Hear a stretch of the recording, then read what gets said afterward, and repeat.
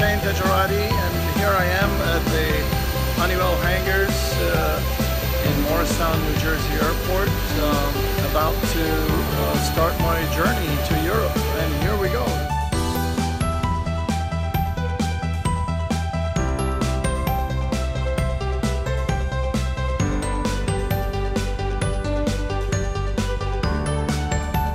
This tool is the Honeywell GDC weather planner where I can see the weather across the board in all of these places. I can look at uh, radar, satellite, lightning, airport weather, and uh, look at the forecast, icing levels. This is Shane Tejarati again on day two and leg two of our journey uh, to uh, Europe, uh, crossing the Atlantic. Today is probably the sportiest day uh, of the flight because we'll be crossing the Atlantic to uh, to our first stop in Greenland and then to Iceland. It's a pretty miserable day this morning. All the more reason to make sure that you have the latest uh, apps and uh, technologies from Honeywell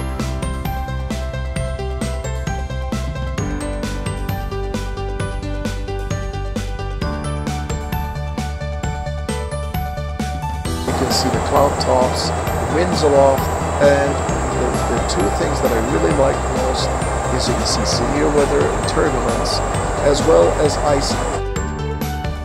Driving in the English countryside, uh, landed in London on my transatlantic flight uh, from Morristown, New Jersey, and today I'm taking uh, a leg from London to France. Uh, it kind of completes a transatlantic for me to France. Today, to do flight planning, I'm using uh, uh, this very simple Honeywell tool. I'm on uh, my leg of flight from London, England to France, where Lindbergh made his flight across the Atlantic into France. I'm just crossing over the English Channel uh, and uh, be landing in uh, Strasbourg, France.